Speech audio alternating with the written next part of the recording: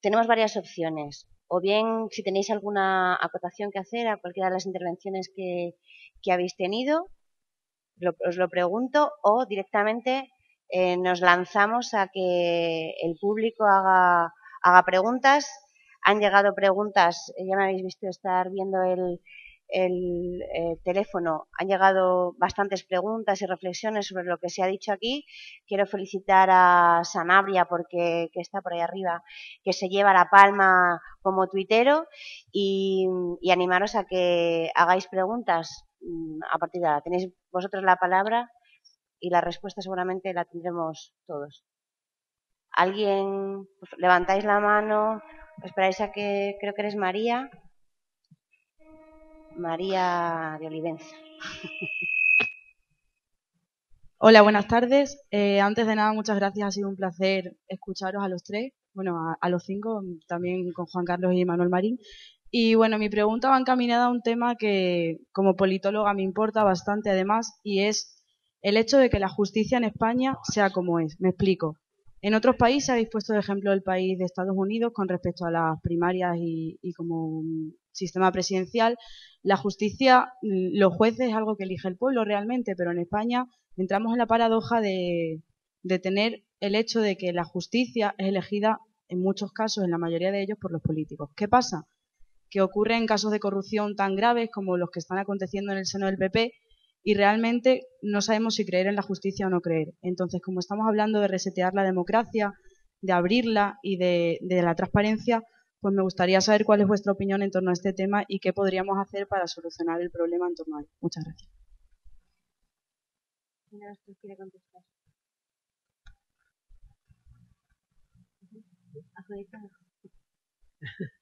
Eh, a ver, dos, una reflexión, se me o sea, las, las, soluciones a, yo creo que las ha dado Manuel Marín en su, en su reflexión inicial, ¿no? Hay, yo creo que una, un refortalecimiento de las instituciones, eh, de los procedimientos eh, y de las formas de hacer y de las, de las formas de hacer no regladas eh, que pidan estas cosas, yo creo que se impone y es algo que es necesario y de una forma u otra tenemos todos que adoptar.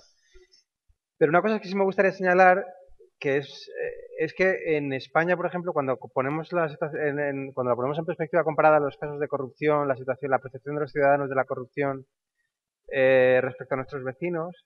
Nosotros tenemos mucha corrupción de este tipo, mucha percepción de, este tipo, a nivel de las élites, de, determinada eh, confabulación entre élites económicas, financieras, políticas, o una percepción de que esto sucede así, de que determinadas altas instituciones del Estado no funcionan, son débiles ante las presiones de determinados grupos, pero una cosa buena que sobre la cual yo creo que deberíamos capitalizar es que tenemos muy poca corrupción a nivel, o muy poca corrupción percibida, a nivel del funcionamiento diario de las administraciones públicas, de los servicios públicos, del estado del bienestar, etcétera, que es algo que llama mucho la atención cuando miras, cuando comparas eh, datos de corrupción y percepción de la corrupción eh, entre países. Eh, en España, por ejemplo, hay muy pocos individuos que reportan eh, que han tenido que eh, incurrir en sobornos para acceder a un mejor trato del médico, o que han tenido que pagar a un funcionario para colar a su hijo en un colegio público, o para este tipo de cosas que son muy comunes en democracias mucho más asentadas y mucho más reconocidas que la nuestra, en Estados Unidos sin ir más lejos. Eh, en estado, en por lo menos cuando miras las estas encuestas en España, somos bastante, tenemos una administración pública bastante decente en este sentido por eso digo que cuando seguramente tenemos unos cuerpos de eh, administración pública relativamente moralmente dignos, digamos, y que deberíamos no perder la vista sobre ello, y que es posible solucionar este problema a nivel de élites, por así decirlo, eh, porque no tenemos podridas las raíces. Esta, es una, esta sería un poco mi, mi reflexión. Sí, mm, Eduardo tiene que, salir pues en 20 minutos, media hora, por lo tanto, en fin, breves preguntas y si es posible respuestas breves, pues perfecto. Sí. Si me dices tu nombre. Enrique Rangel. Eduardo, has mencionado dos cosas que me han hecho temblar, porque las he vivido. Una de ellas es cuando has mencionado al monstruo el monstruo de 1932 que apareció en Europa. Se daba la misma circunstancia que estamos pasando hoy, mucha hambre, mucha desidia, y nos habíamos venido abajo. Y este señor, con una labia impresionante, conquistó unas elecciones, aunque gobernó en, en minoría. Mi miedo es que aquí aparezca otro, por el estilo. Que alguien que prometa algo, porque no es el problema del paro, el problema es el trabajo, es que no hay trabajo. Hoy he escuchado al pequeño Führer decir que en su, en su mandato de los ocho años, me, refiero al pequeño Führer, es Aznar, ¿sabes? en su, fue cuando más dinero se ganó en España. Tiene toda la razón. Pero es que nada más que nos dedicamos a hacer casa. Y nada más que se hicieron casa. Y aquello se quedó ahí. Y de aquellos polvos, de aquellos polvos han venido estos lodos. Y no somos capaces de explicar. Y luego tenía que preguntarte otra cosa. Esta constitución que hicimos los de mi generación, los de mi época, porque yo ya tengo 69, eh, la hicimos con un sable en la barriga y una pistola en la cabeza. Lo mejor que pudo hacer Felipe González fue meternos en la OTAN, aunque yo era contrario a la entrada en la OTAN. Pero bueno, ahí está. ¿No crees, Eduardo, que es necesario, por limpieza y por todo, reformar esta Constitución? No vamos a cuestionar monarquía ni historias de esas que, que habría que cuestionarla. Pero esta Constitución tiene que ser reformada y no hacerlo como se hizo en la fatídica 10 de mayo, de aquella manera.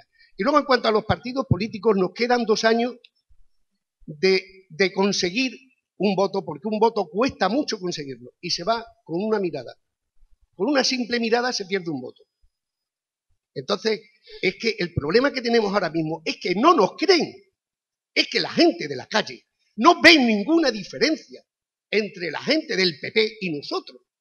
No la ve porque estamos mezclados aquí en esta tierra, en esta tierra que en el año 79, 80, cuando, cuando empezaron la, lo que hoy llaman café para todos, las autonomías, conseguimos hacer, y ahí hay un señor que está aquí sentado, que se llama Rodríguez Ibarra, que se consiguió hacer de un trapo una bandera, de, de, de dos provincias una región, y de un pueblo una capital y se lo debemos a él. Y ahora todo eso se nos ha venido a la mierda.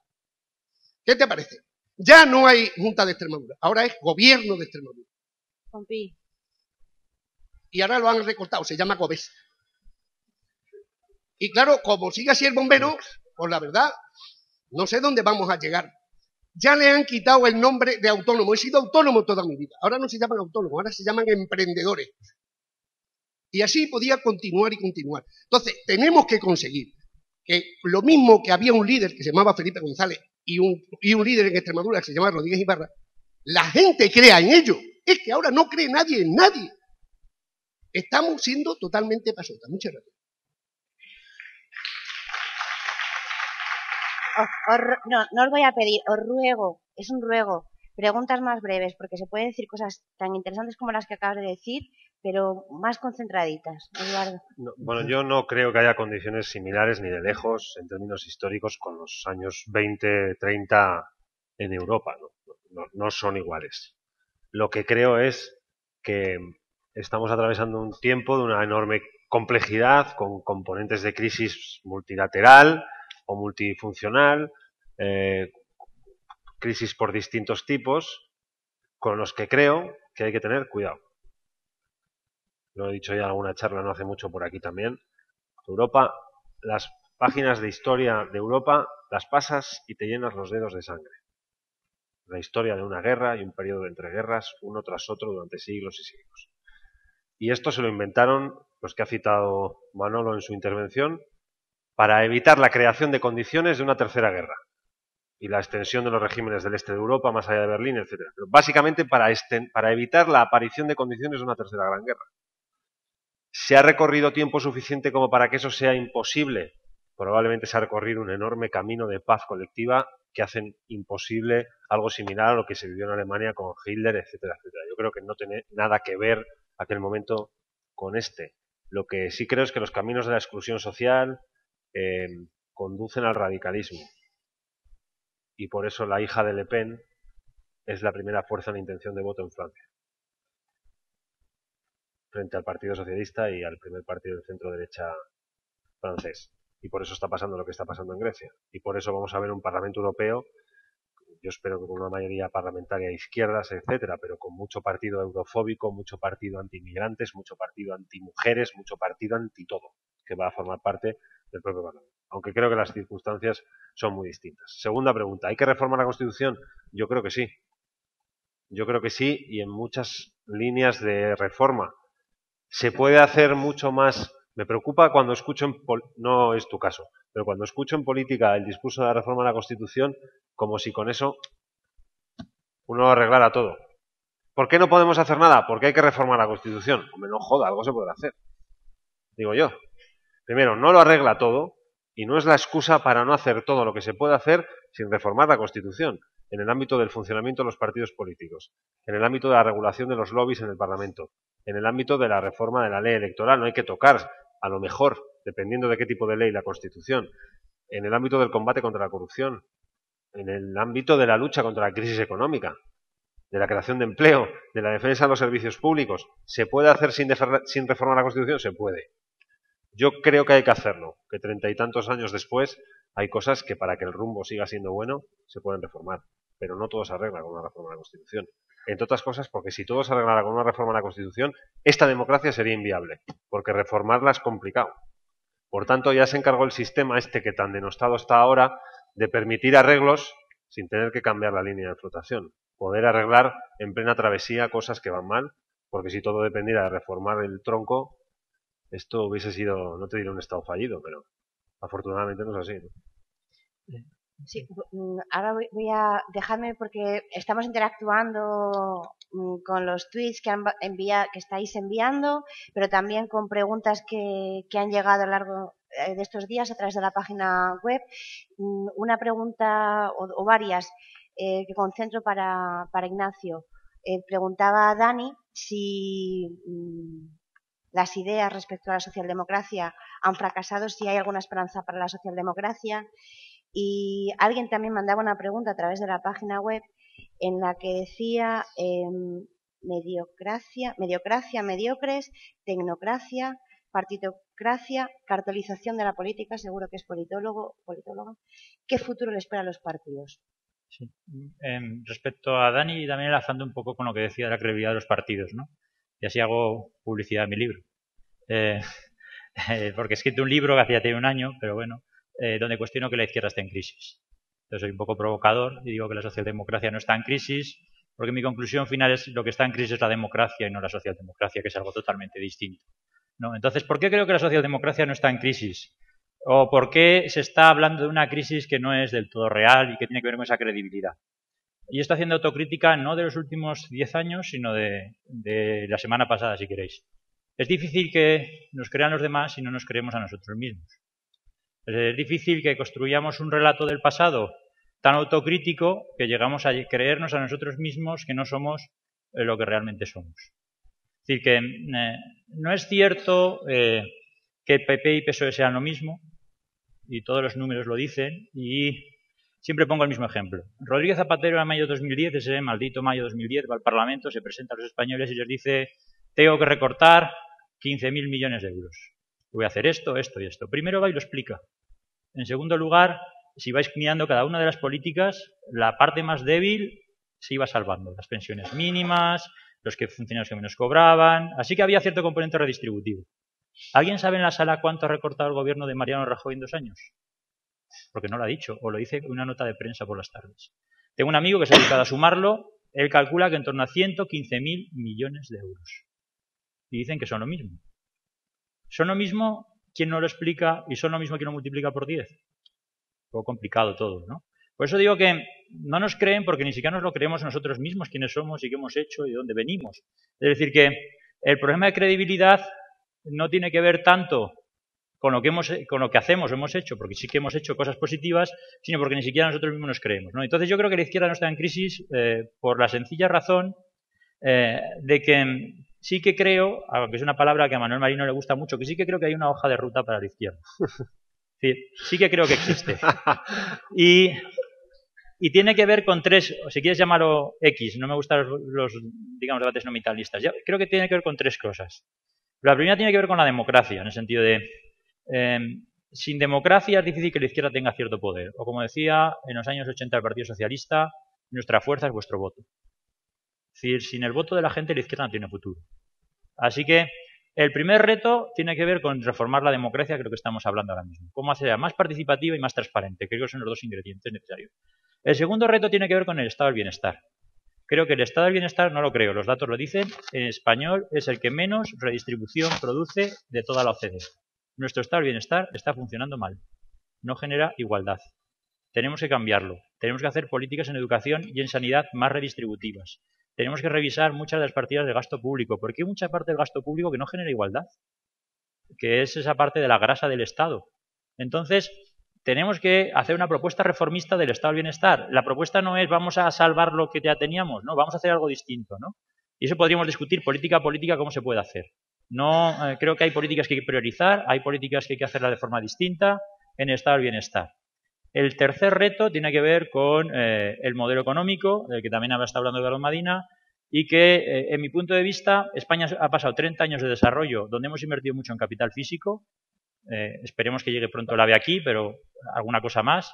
Pero creo que en todas economías desarrolladas, la segunda fase tiene que ver con el capital humano, siempre. Una vez inviertes mucho dinero en capital físico, tu segunda prioridad tiene que ser el capital humano. Entonces tenemos que hacer una fuerte apuesta de inversión, en desarrollo, en investigación. Esa ser la prioridad. Ya vale de seguir construyendo carreteras y trenes, que hemos hecho muchas, y tenemos que empezar a hacer otras cosas. Y eso le pasa a todas las economías, no solo a la española, le pasa a todas las economías que se desarrollan.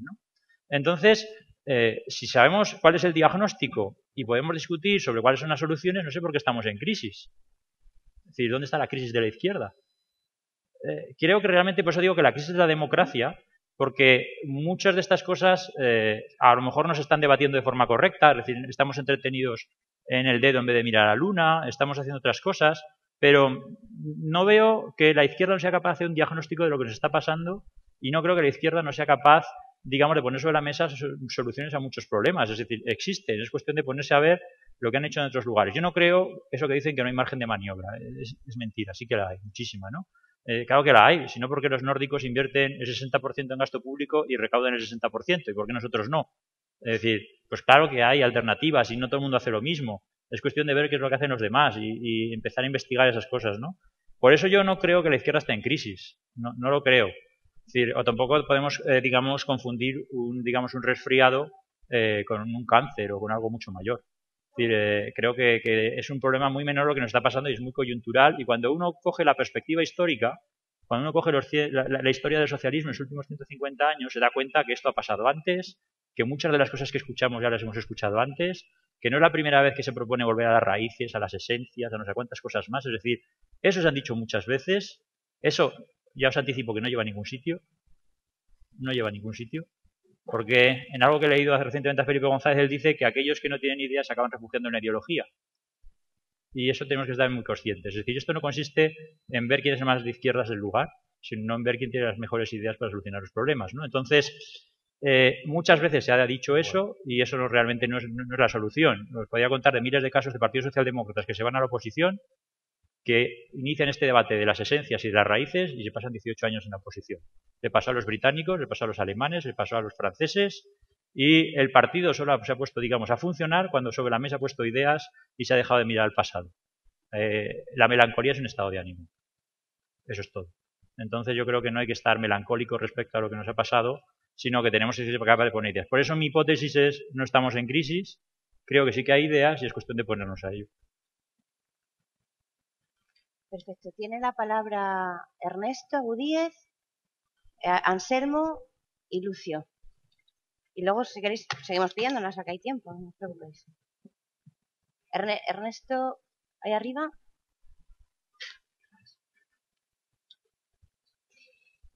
Buenas tardes, noches a todos. Quería hacer una Pregunta, bueno, primero a José agradecerle su información, que muchas veces hablamos sin tener conocimiento y la verdad es que nos ha aclarado muchas cosas que creíamos que eran, por lo menos yo, que creía que eran diferentes y salvo lo del tema que la gente con personas con menos renta es más antieuropea, el resto de información yo creo que es bastante positiva.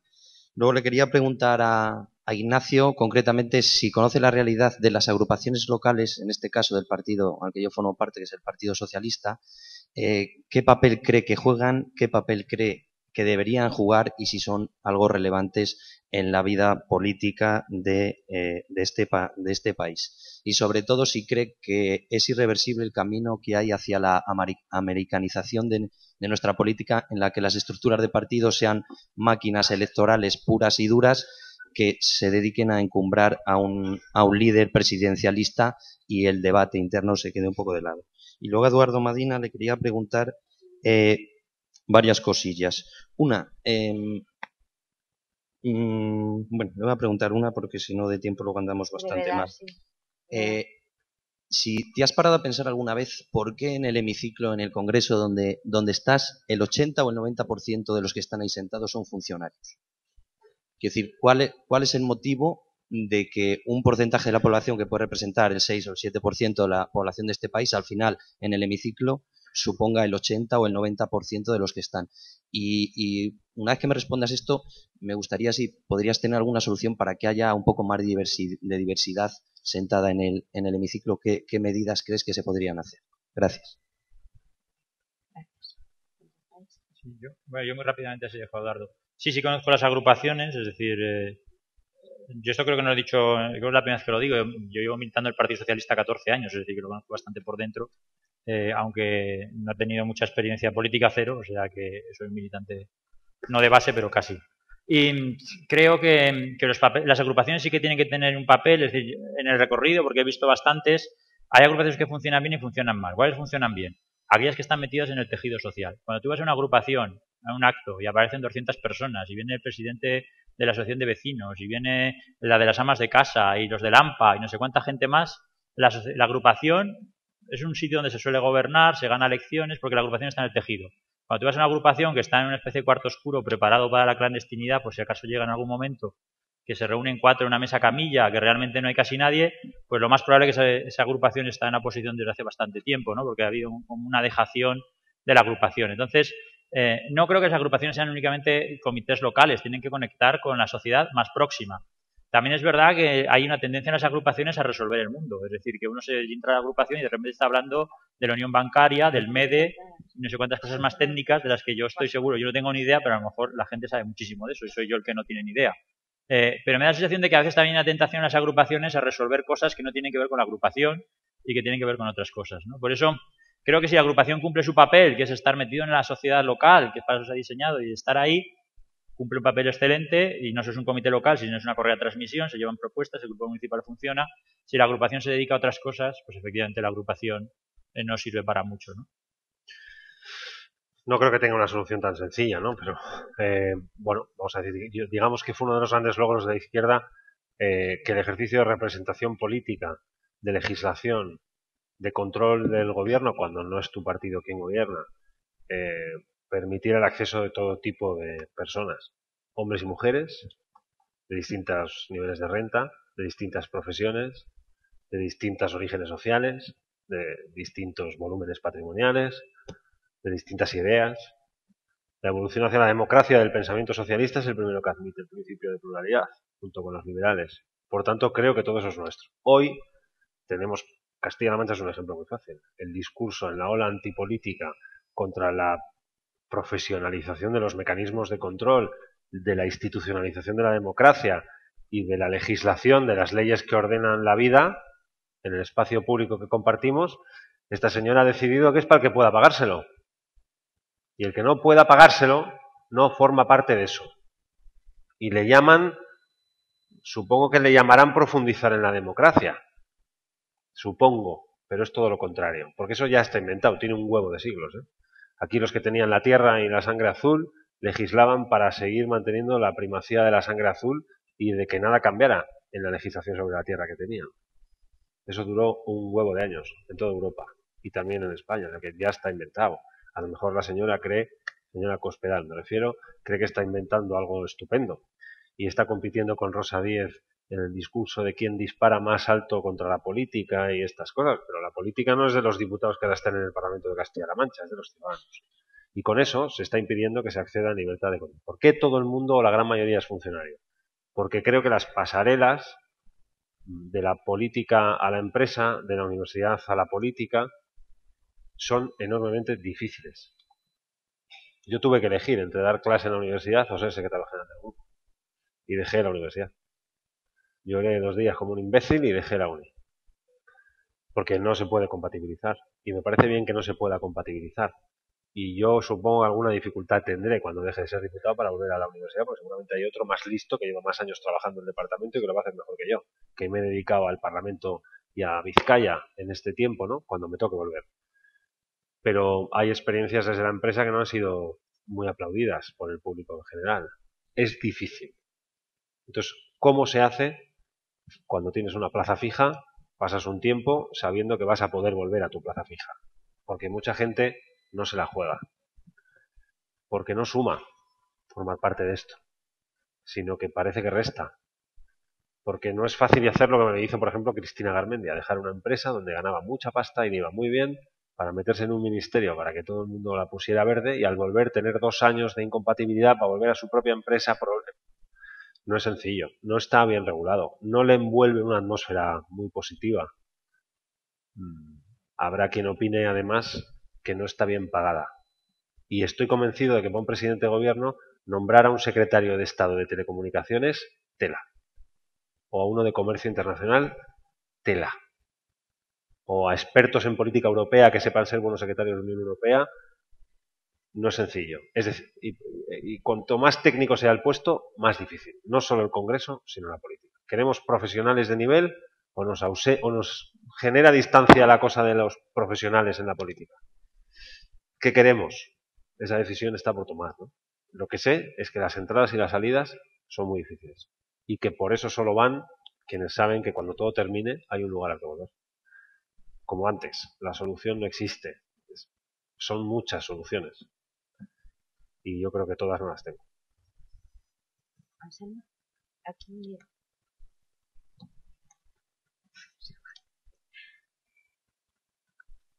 No, porque se graba.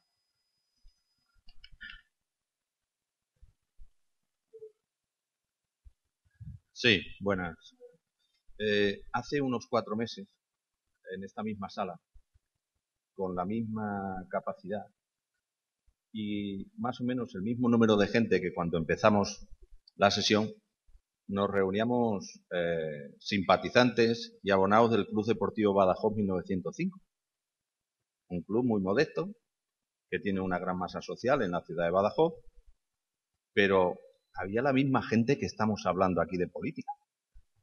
Eso es un hecho que no ha salido en ninguna de vuestras manifestaciones sobre el por qué hemos perdido, los ciudadanos en general, en global, el interés de la política.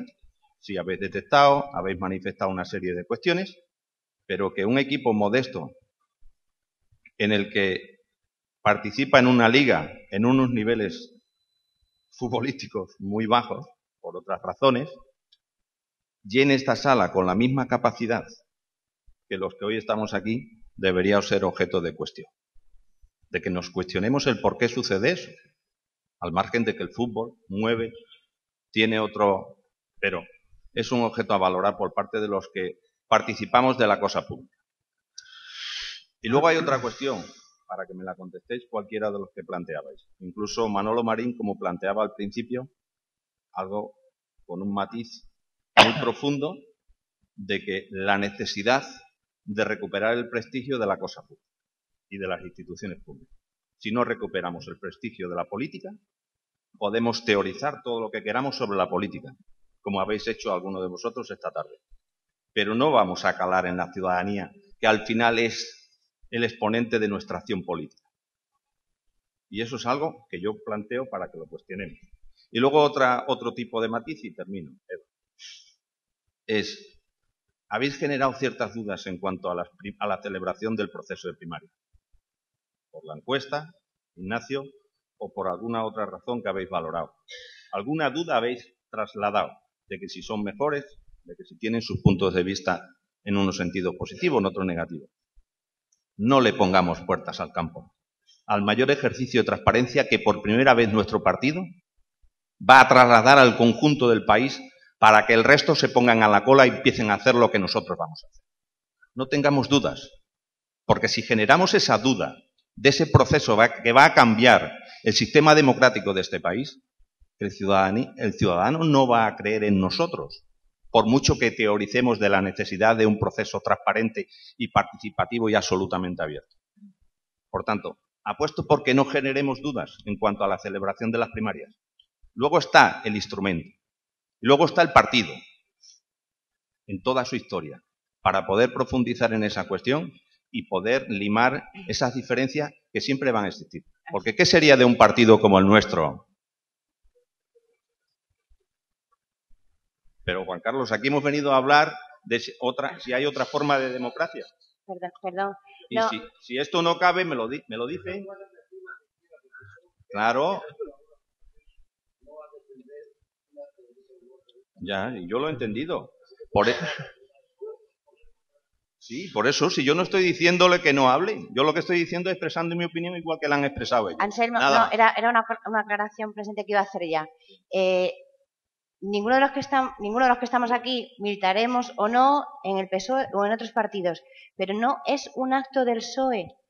No hay ningún logo, no habréis visto ningún logo del Partido Socialista, independientemente, y yo ya lo manifiesto y todos lo sabéis, soy militante del Partido Socialista, pero aquí hay Ignacio Urquizu como experto, sociólogo, eh, doctor y autor de, varios libros y de análisis mm, desde el punto de vista de la, ciencia social, eh, muestra los pros y los contras de las primarias.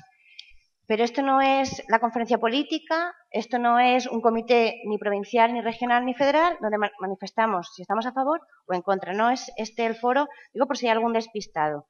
Eh, respecto al tema de, tal, si se llena mucho o poco, más se llena el Camp que un acto del Partido Socialista. Seguramente más la gente que está en casa viendo cómo juega el Barça contra el Milán, pero tampoco es el tema. Respecto a las preguntas con carácter general, tenéis la palabra para contestar. Sobre una apreciación, eh, el interés por la política ha aumentado, no ha bajado. Ha aumentado mucho, están cifras récords en España. Eh, una cosa es que el interés aumente, de hecho nunca tanta gente había estado interesada en política como ahora, nunca tanta gente, lo que también se ha disparado la desconfianza hacia la democracia y hacia la política, que es una cosa totalmente distinta. O sea que tenemos una combinación un poco peculiar y es mucha gente interesada en política y mucha gente que desconfía de la política. Eh, y esa es la combinación explosiva en la que estamos, digamos, metidos en estos momentos en el contexto de la crisis política española. ¿no? Pero bueno, que mm, seguramente la mejor forma de prestigiar las instituciones y los partidos es hacer pedagogía. Es decir, hay que analizar las cosas, eh, ser serios y, y, no solo defender las cosas porque creas en ellas, sino porque además, digamos, hay una racionalidad detrás de todo eso. Es decir, que una forma de prestigiar la política es que la política haga pedagogía de las cosas y que explique a la gente por qué se hacen, por qué no se hacen y que no se convierta en una actividad de eslóganes, sino en una actividad que tenga contenido, fundamento y pedagogía. ¿no? Yo creo que así conseguiremos darle bastante más prestigio a la política. Eh, seguimos si queréis, pero Eduardo se tiene que ir. Yo creo que tenía previsto irse mucho antes de esta hora, pero y, y Manuel Marín también. Lucio, te has quedado con ganas de preguntar pero, pero si no es, si no es a, Eduardo Madina, eh, Eduardo, te despedimos con honores. Muchas gracias.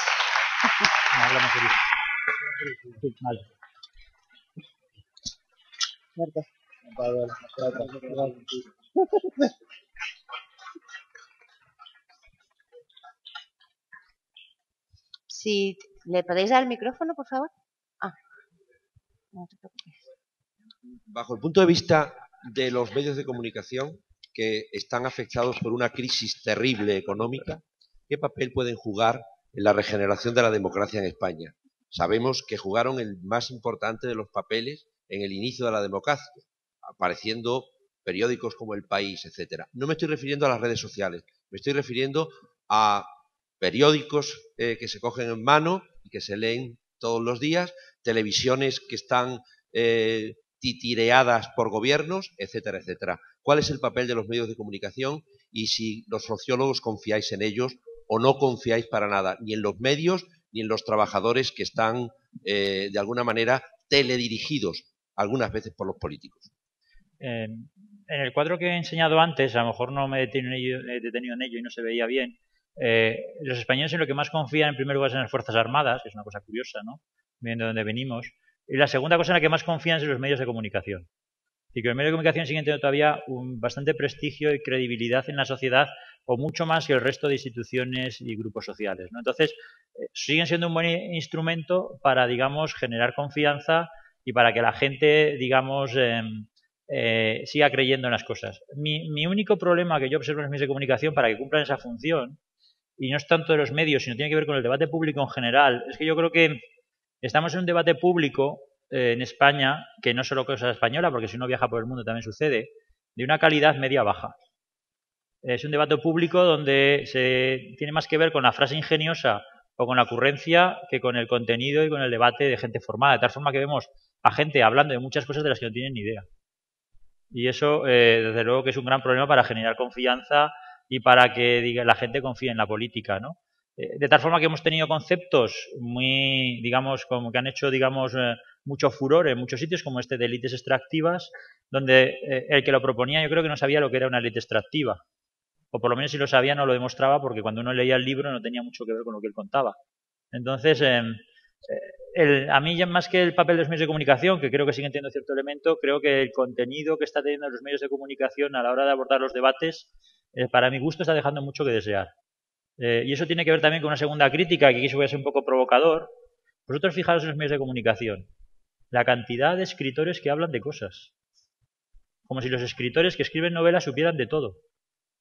Y entonces tenemos este libro de Muñoz Molina, que a mucha gente, yo me lo he leído, es entretenido, pero no, yo creo que Muñoz Molina eh, habla de muchas cosas sin saber muy bien qué está contando detrás y no, no, tiene razón en todo lo que está diciendo. De tal forma que nos están trasladando un estado de ánimo eh, que no es el correcto, ¿no? Eh, por eso creo que eh, más que los periodistas, que los periodistas se dedican a procesar información, los opinadores son los que realmente nos están llevando también a un callejón sin salida eh, a los partidos, a las políticas, desprestigiando todo, ¿no? Es decir, cómo hablan de los políticos en general, como si todos los políticos fueran iguales, sin, sin, ser capaces de introducir matices, cómo hablan de los partidos como si todos fueran iguales, sin meter matices, ¿Cómo no hablan, y aquí seguro que más de uno lo sabe, de lo que significa la actividad política, los costes personales que implican, porque a la gente le gusta estar también con su familia, no solo estar todo el día en actos y en cosas, ¿no? Entonces, esas cosas se cuentan muy poco. Y yo creo que los españoles saben muy poco de cómo funcionan también los partidos por dentro y qué significa la política, ¿no?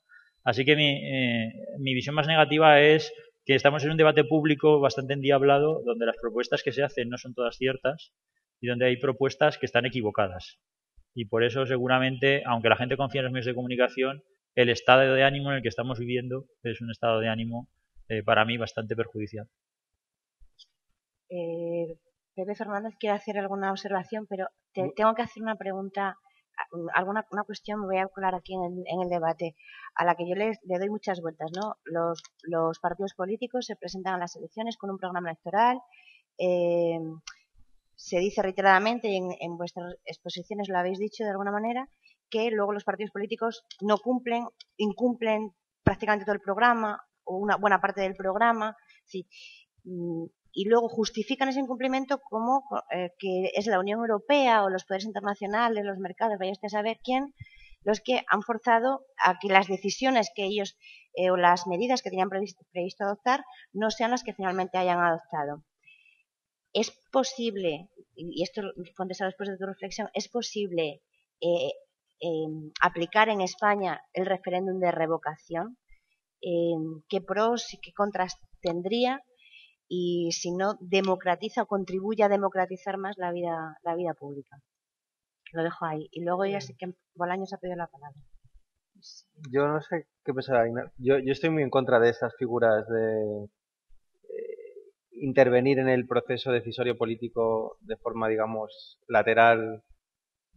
Primero, por, primero porque, porque es difícil valorar, bueno, el mandato imperativo lo eliminamos hace mucho tiempo por muy buenas razones, ¿no? porque los políticos se enfrentan a circunstancias que no pueden ser previstas antes de las elecciones, porque está bien que sea así, que así sea, porque no son omnipotentes, sino que tienen que estar permanentemente negociando con niveles de otro, con otros niveles de gobierno, con actores privados, etcétera y no tiene mucho sentido eh, exigir por ley, eh, por antenatario, una, un, yo esto me parece una idea absurda y me parece que es pervertir el mecanismo de premio y castigo ideal que es el voto en las siguientes elecciones, ¿no? y que esto es lo que deberíamos proteger y valorar y favorecer los mecanismos de rendición de cuentas a partir del, del, voto. Luego, además, estos mecanismos de participación, no solo del referéndum revocatorio, sino estos, estos mecanismos laterales de democracia, digamos, directa que se nos están colando en la agenda, con lo, muchos de los cuales son, por, supuesto, eh, bienvenidos y, que en, la medida que fomenten la, participación, el interés por la política, etcétera, deberían ser eh, cultivados. Hay que ser cuidadosos también porque tienen, suelen tener un sesgo muy conservador. Es decir, los países, sabemos que los países donde, se, donde estos mecanismos de participación política vía, vía referéndum se, se, utilizan mucho, para lo que se utilizan es para frenar iniciativas eh, eh, modernas, porque es más fácil, digamos, juntar a gente en contra de algo que a favor de algo. Esto también es algo que lo sabemos. Entonces, eh, tienen un sesgo, las, el bloquear políticas, por ejemplo, el impedir políticas que hoy, por ejemplo, sean costosas para en los primeros dos años, pero que generen beneficios en largo plazo, introducir este tipo de, medidas de, participación alternativas, pues es un lastre, digamos, es un problema. La otra cosa que quería decir sobre el debate este que tenéis sobre las primarias, yo creo que eh, las primarias, me, gusta mucho la presentación que ha hecho Ignacio sobre en qué contextos tienen sentido o no tienen sentido. Las primarias, otra forma de verlo es que las primarias tienen, tienen su función en sistemas eh, digamos, de competición bipartidista, donde la pluralidad de preferencias de la ciudadanía eh, encuentra un acomodo difícil entre solo dos opciones. Y como solo hay dos opciones, tienes que hacer que estas dos opciones sean plurales. Esto es el sistema americano, ¿no? Dado que solo tengo dos competidores, que haya una competición dentro de cada competidor para acomodar y para escuchar las preferencias de la, de la ciudadanía.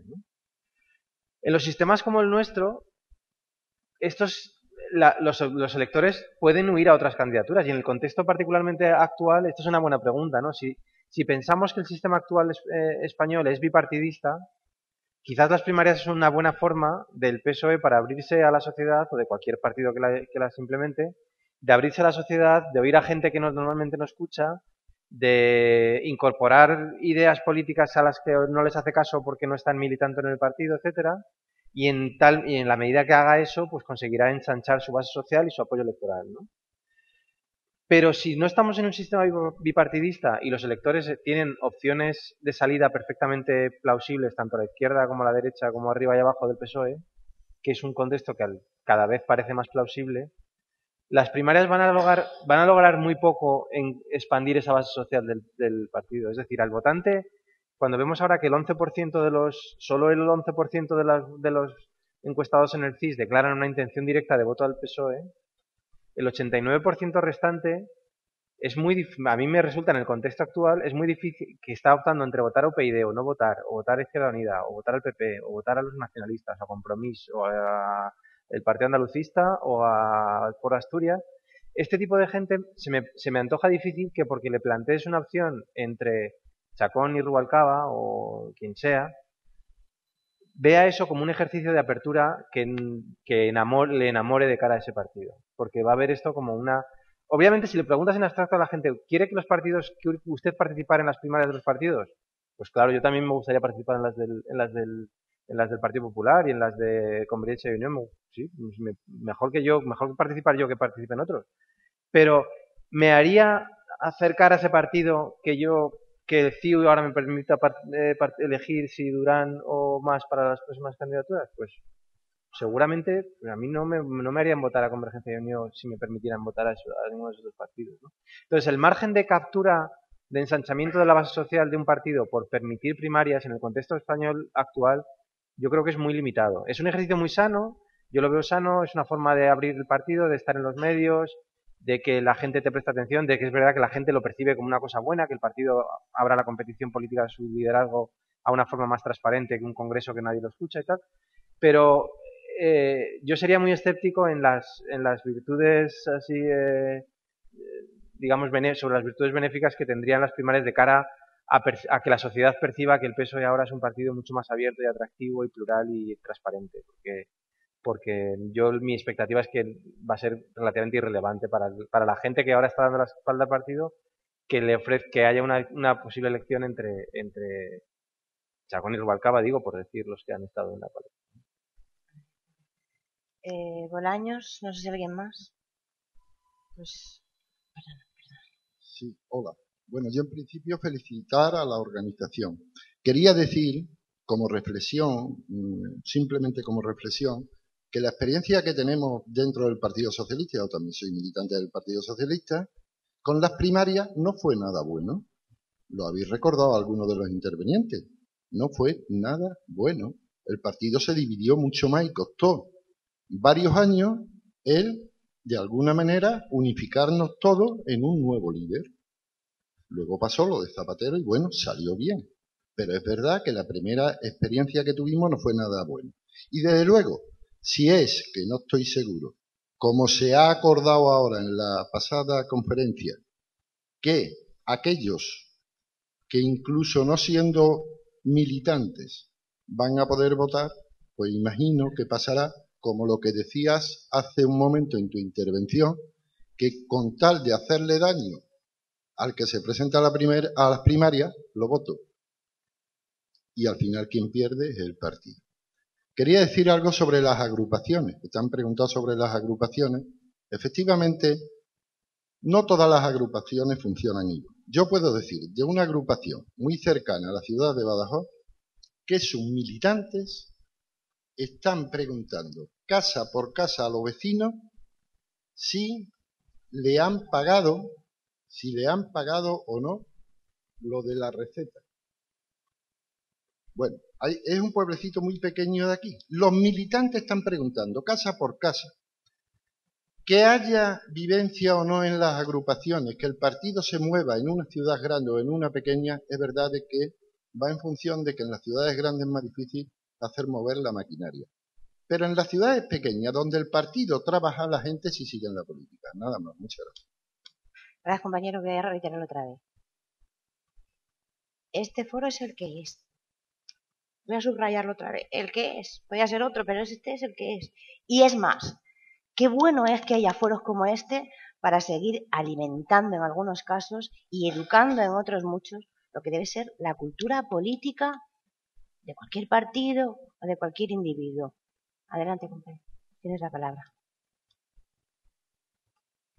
Vamos a ver, en la línea de buscar alguna luz sobre la pregunta de que si hay otra forma de democracia, a mí me llama la atención que cuando se está ocultando y viendo y repartiendo responsabilidades de los partidos políticos, de las instituciones, de todos los sectores de la sociedad respecto al declive de la democracia, hay un sector, el más importante, el fundamental, la soberanía popular, la sociedad, la ciudadanía, la gente, que siempre sale incómule de estos encuentros. Nadie, creo que el político, en prevención de que necesitamos el voto de las personas que ejercen ese derecho, cuidamos y mimamos de que nunca se equivocan. Yo creo que en, tiempos muy cercanos al declive que tenemos y a, y a la crisis, hubo, Felipe González habló hace algún tiempo de morir de éxito. Yo creo que lo peor que puede pasar es que la izquierda sea capaz de crear no digo que no haya que hacerlo, quiero decir que ha podido ser la consecuencia. Un nivel elevado en una clase emergente como han sido las clases medias, que ha llegado a una situación en que en una situación de comodidad le hablabas de izquierda o derecha, le hablabas de intereses sociales y te contestaban que eso había pasado a la historia, que eso de izquierda y derecha era el pasado, que el socialismo era cosa de pobres, Quiero decir que una gran culpa de lo que está pasando y de la desafección de la ciudadanía a los partidos políticos viene de ese desinterés, pero nadie saca ese tema, nadie dice que ese sector mayoritario de la sociedad, que es el fundamento y el sostén y la clave de bóveda de la democracia, ha pasado totalmente del tema de la política, porque creían que eso estaba superado. Incluso la lucha de clases, hablar de lucha de clases ya suena a Marcelino Camacho, pero eso sigue siendo una realidad. Hay una clase trabajadora que vive de su trabajo y hay otra que vive del trabajo de los demás. No hay por qué ser antagonistas y nosotros crean puestos de trabajo y no hay que estar en las trincheras. Pero lo cierto es que se ha perdido ese sentido, se ha perdido ese sentido de asentimiento a lo conseguido por unas cuantas de generaciones, termino, con sangre, sudor y lágrimas, porque parecía que eso ya era una conquista inamovible. Y lo mismo que el que quiere mucho a su coche, no se circunscribe solo a pasar la ITV cada cuatro años, sino que lo lava, lo limpia, le mira las ruedas y la bujía, la sociedad no puede permitirse el lujo de solo atender al problema político cada cuatro años en las elecciones, sino que debe atender y contribuir y estar y exigir e intervenir en todos los asuntos públicos y eso lo dejaron absolutamente todo porque creían que ya todos somos iguales. Aclarado, Gracias. compañero. Eh, voto estructural, desafección, ¿qué pasa? Pues sobre este, yo creo, no sé si es tanto, habrá, seguramente habrá un poco de todo, pero yo tengo una visión un poco menos, eh, digamos, de echar la bronca a estas clases medias que nos han preocupado de mantener viva la identidad de clase que las, eh, en, la, que- en, la, en, la, en la que nacieron, ¿no? Yo creo que hay que reconocer, y esto no es un fenómeno solo de España, sino que es un fenómeno de las sociedades que nos rodean, pues que los conflictos de intereses económicos se han, y eso tiene relación con lo que decía antes, se han complejizado mucho más. Y una cosa, por ejemplo, que se observa en España es que tenemos el- la, la presión fiscal más baja de nuestro, de nuestro entorno. Todos coincidimos en que si queremos tener una- un estado del bienestar más ambicioso, unas políticas redistributivas más ambiciosas, tenemos que ten- tener 10 puntos más de ingresos en el- en el- sobre el PIB. Pero vas a, ves a la calle y vende a la gente que su IRPF va a subir, que el IVA ya no hay excepciones al IVA, que no hay deducciones por A y por B, que las deducciones por compra de vivienda que eran súper populares. Quiero decir que los conflictos de, de- de- económicos existen, o sea, se han generado dentro de lo que antes era un votante homogéneo de los partidos de izquierda. Eh, y esto crea, yo esto sí que creo, soy un poco más pesimista que Ignacio en esta crisis de la izquierda. Es verdad que es un, es una pesadilla que llevamos hablando de la crisis de la izquierda desde que se fundó la izquierda, pero, pero es verdad que yo creo que las sociedades postindustriales tienen ciertos conflictos de intereses entre trabajadores con puestos fijos y trabajadores con puestos precarios, entre generaciones que han tenido carreras laborales estables y ahora quieren jubilarse y, generaciones que van a tener carreras estables, carreras laborales muy inestables y que no saben cómo se van a poder jubilar.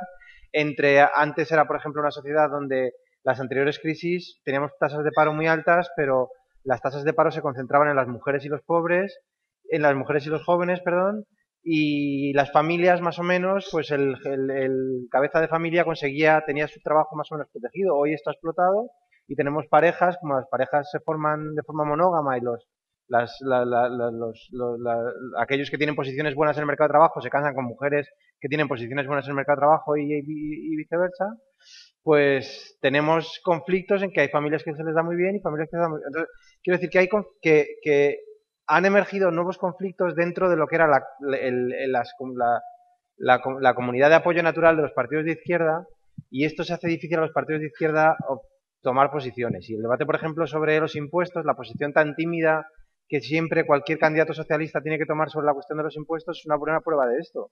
Sabemos que para financiar las políticas que a los, a los socialistas les gustan o nos gustan, eh, necesitamos más impuestos, pero, pero sale a la calle y vende que necesitamos más impuestos. Nuestro- algunos de nuestros votantes se van. Y, y yo creo que hay que reconocer esto y hay que, y hay que, es complicado, no es una cuestión tampoco de dar con la tecla, sino que es que es una cuestión de que hay políticas que, que generan conflictos entre la base social de los partidos de izquierda. Y esto antes no, antes no sucedaba tanto como ahora. Eva, Eva, Y ¿me dejas Ah, eh, sí, un momento? Sí, no. Bueno, yo no, estoy del todo de acuerdo con lo que dice Pepe por lo siguiente. Eh, primero porque las clases medias eh, lo crean, eh, gran parte de la, cl- de la clase media la crea el estado del bienestar. Es decir, no llegas a ser clase media porque el Estado te provee unos servicios que hace que tú ya no te gastes dinero en eso. No tienes que gastarte dinero en educación, en sanidad, en un plan de pensiones. Eso te lo garantiza el Estado, de tal forma que tu salario vale mucho más que antes. Y de repente puedes tener acceso a la vivienda, a irte de vacaciones, a comprarte un coche. Es decir, que en el fondo la clase media es producto del estado del bienestar. Y las clases medias es algo que existe en Europa de forma muy extensiva. Y cuando salimos de Europa hay montones de zonas donde la clase media es muy pequeñita, vive asustada, con problemas de inseguridad, buscan en el mercado un montón de servicios. Es decir, que seguramente lo que le ha pasado a la izquierda europea es que no ha explicado, por un lado, que ellos son los creadores de eso, Y no le ha dicho a la gente, vosotros estáis ahí porque nosotros hemos hecho políticas públicas para que estéis ahí. Y en segundo lugar, porque en, esta búsqueda de las esencias hay cierta tendencia a tener un discurso eh, muy obrerista, sin saber cuántos son los obreros en la sociedad. Y en los datos estadísticos, en la sociedad donde más obreros ha habido, es en Francia en 1945 creo que era el 28%. Es en el libro de Amchebowski, lo, eh, Paper Stones, hace la tabla, busca obreros. Entonces, siempre la izquierda ha tenido éxito cuando ha ido de la mano con las clases medias. Cuando ha ido las clases medias ha tenido bastante poco éxito, ¿no? Y después, esto no es de subir o bajar los impuestos, esto es, digo, equilibrar los impuestos para generar más igualdad. El sistema fiscal español es uno de los que genera más desigualdad horizontal. Es decir, en el mismo tramo de la renta hay gente que paga más y paga menos en horizontalidad. Y eso tiene que ver con deducciones, con reducciones y con un montón de cosas. Eh, de tal forma que no es cuestión de subir a todo el mundo los impuestos, es que todo el mundo pague parecido en la misma escala de renta. Y que no hay algunos que no pagan casi nada y otros que paguen mucho a, renta igual, ¿no? Eh, o sea, no, es voy a bajar y se lo suba a todo el mundo, sino que vamos a generar un poquito más de igualdad dentro, ¿no? Y se dicen números. las rentas de salariales en España son el 50% del PIB, ya están por debajo del 50%.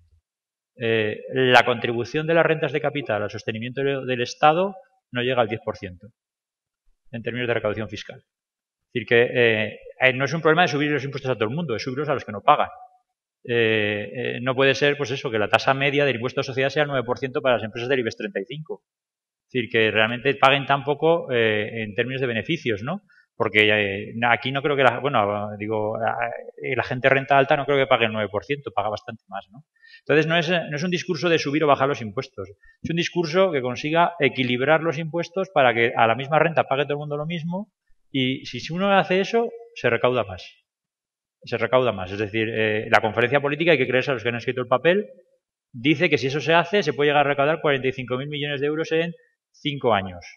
Eh, la evasión fiscal son 80.000, es decir, que no estamos hablando de que toda la evasión fiscal la vamos a recaudar, pero con 45.000 millones estamos hablando de cuatro puntos y medio del PIB, que ya tienes bastante del déficit conseguido. ¿no? Entonces, em, como que eh, hay conflictos seguramente hay entre clase media y clase obrera, pero la izquierda eh, lo que tiene que hacer es lidiar con ellos y explicarle a la gente de, que ellos están ahí por unas razones, pero no pensar que porque haya conflictos la izquierda, que ya sé que tampoco ibas por esa dirección, ¿no? O sea, no es un discurso pesimista el tuyo, pero que creo que sí que tiene solución, es decir, que no es algo que, no tenga solución.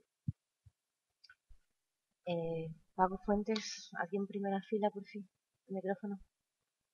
Y con esto cerramos, porque yo me quedaría aquí toda la noche, pero... No, brevemente.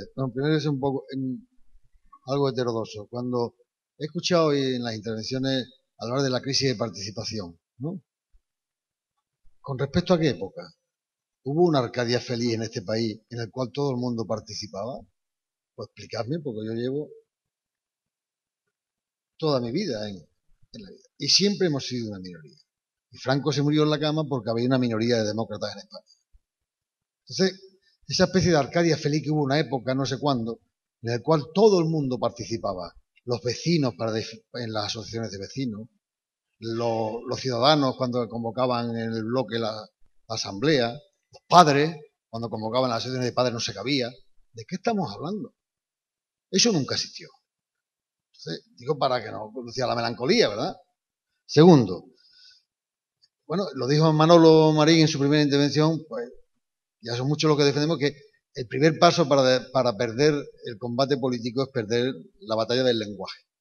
Habéis puesto ahí un esquema de la desafección a Europa, sobre todo de las clases más humildes. Claro, ¿es casualidad? No. Todas las malas noticias, ¿de dónde vienen? De Europa. No es perdido la batalla del lenguaje, no vienen de Europa. Vienen de que hay una mayoría conservadora gobernando Europa. Si en lugar de Europa dijésemos que hay una mayoría de derecha gobernando Europa, probablemente no había esa desafección hacia Europa. Y termino. Yo creo que todas las formas de, mejorar la democracia van unidas a la calidad de los valores cívicos de la sociedad. Y creo que esta sociedad es bastante deficitaria en su conjunto de valores cívicos. Aquí hubo una época en la cual, como era verdad aquello de que España era diferente, España era diferente porque no tenía autovías, no tenía alta velocidad, no tenía una sanidad de calidad para todos, no tenía una educación para todo, no había un sistema de becas, entonces España era diferente. Y nosotros conseguimos, después de muchos años, que ya no fuese diferente en eso. Había una sanidad equiparable al resto de Europa, una educación, una infraestructura, En eso sí, ya no éramos diferentes, pero seguíamos siendo diferentes en algo, ¿eh? en la falta de valores cívicos. Lo que antes también hacía referencia, no sé si Juan Carlos o, Manuel Marín, a lo que era la institución libre de enseñanza. El respeto a los valores cívicos, ¿eh? El, no, el no poder aceptar que el tío que más despotrica contra los políticos y contra la política lo reconocemos como un especialista en defraudar la hacienda. ¿Eh? que todo o, el, bachaca que te está dando la vara para ver si le puedes quitar la multa de tráfico. En otra época. Es decir, esa falta de valores cívicos o esa, una parte de la sociedad, todas estas formas tienen un hándicap fundamental. Un hándicap fundamental. Entonces, ese yo creo que es otra reflexión que enlaza con lo que decía Vicente. Decía, oiga, no caigamos en la demagogia de que aquí hay una sociedad, enlaza también con lo que dijiste, también dijo Juan Carlos y también habéis dicho otros, hay una sociedad, por ejemplo, perfectamente participativa, integrada, con valores, y la parte pequeña de los desgraciados y los corruptos, como no tenían otra salida, se han dedicado a la política. Esa hipocresía de este país de falta de valores cívicos, de exaltación de la picaresca, de, de respetar y admirar al que defrauda Hacienda o al que no cumple las leyes, eso, mientras no se corrija, y eso es un defecto de la izquierda, que se preocupó o nos preocupamos solo de la parte de las infraestructuras, porque el alcalde quería el centro de salud, mientras eso no se corrija, todos estos buenos deseos de mejorar la calidad de democracia serán, mm, hombres, es bueno, ¿no? Pero serán más difíciles de llevar a la práctica. Muy sí, para los dos y ya. estoy muy de acuerdo con los, con los tres comentarios. Yo enlazando el primero y el, el, último, estoy es cierto, la participación, no hemos, yo creo no, no es nada que la participación haya caído, ni de hecho todos los indicadores del interés por la política, que es la variable más cercana, en todo caso, como decía Ignacio, ha subido en este periodo. Y lo que sí es preocupante, el, este, este énfasis en los indicadores de confianza en el sistema, en las instituciones, capacidad de influir, los políticos tienen en cuenta mis preferencias, etcétera, que esto sí que está en crisis. Yo creo, o sea, a mí me preocupan por, por lo que a ti te preocupa la parte, el tercer punto que has señalado, que es en una sociedad cínica donde, donde, donde, que asume como verdades inmutables que los políticos no le van a escuchar, que no, hay, no, no, merece la pena eh, movilizarse con sus vecinos para defender sus intereses de forma democrática, esto es un problema y sabemos que las sociedades que no confían en sus instituciones y que no confían en sus vecinos son, los problemas, son las sociedades sin esta cultura cívica que es un poco el sustrato de, para que venga todo lo bueno demás.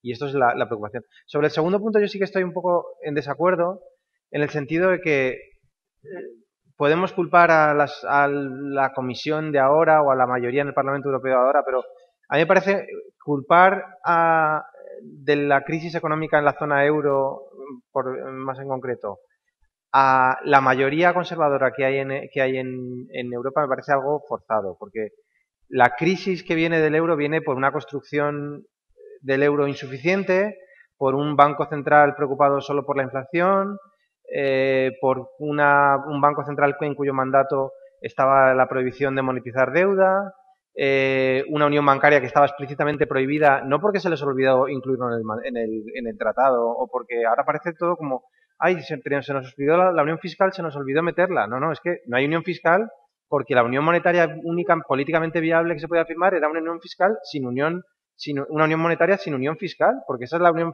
que impuso Alemania.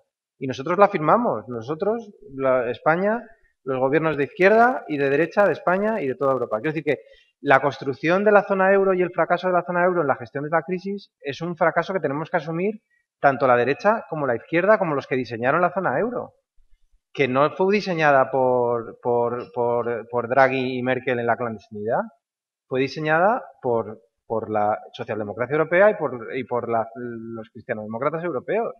Y las cosas que ahora sufrimos son las consecuencias de un mal diseño. Y un mal diseño que se conocía en ese momento y que se firmó y se aceptó cuando, que, sabiendo que era eh, el único políticamente viable para Alemania. ¿no? Entonces, Ahora decir, es que en una, si hubiese estado Hollande hace, en vez de Sarkozy hubiese sido diferente, pues, pues déjame dudarlo, no sé. yo, bueno, es verdad que no hay una Arcadia feliz, es decir, en España tampoco eh, no hemos tenido tasas de participación del 90%, la, participación media es de 75%, la participación media es 75%, eh, para que lo veamos todo en perspectiva, en las últimas elecciones europeas participó el 40% de la gente no había crisis política. Eso significa que eh, si cuando no había crisis política participó el 45%, yo podría jugarme dinero y creo que en las próximas elecciones europeas, si se llega al 30... Un poco de crisis económica ya había. Sí, pero no, es 2009, ¿no? Sí, pero vamos, si se llega al 30% sería un éxito en las próximas elecciones de mayo. 30% de la gente votando, ¿eh? Es decir, que, que no hay una Arcadia feliz, pero el mundo que estamos viendo también en los datos eh, son preocupantes. Por ejemplo, la, participación, la, gente que declara en las encuestas abstenerse, la media en España ha sido el 10%, ahora está en el 22%. La primera opción de los españoles en las encuestas es la abstención. La mitad de los españoles no saben a qué partido votar y, o dicen no votar a nadie. hay indicadores eh, muy preocupantes. No venimos de una Arcadia, pero el mundo puede ser bastante peor de lo que hemos vivido. ¿eh? Entonces, eso sí que a mí me preocupa un poco. A lo mejor, ojalá eh, todo esto sea una cosa coyuntural y cuando lleguemos al 2015 eh, la gente vuelva a confiar, se vuelva a votar, pero por ahora lo que uno ve en las encuestas es, preocupante. ¿eh? Y está bien hacer este tipo de actos porque por lo menos somos conscientes de lo que está pasando y se pueden hacer cosas. Y en segundo lugar, em, yo estoy muy de acuerdo con lo que ha dicho Pepe sobre Europa, es decir, es verdad que está mal diseñada y que eso sobre todo ha generado unas asimetrías, especialmente para las economías del sur de Europa, las más débiles, eh, que se ha traducido mucho en la financiación. Es decir, cuando la economía iba bien, todos nos financiamos muy bien. Cuando la economía ha ido mal, uno se financia muy bien y otro se financia muy mal.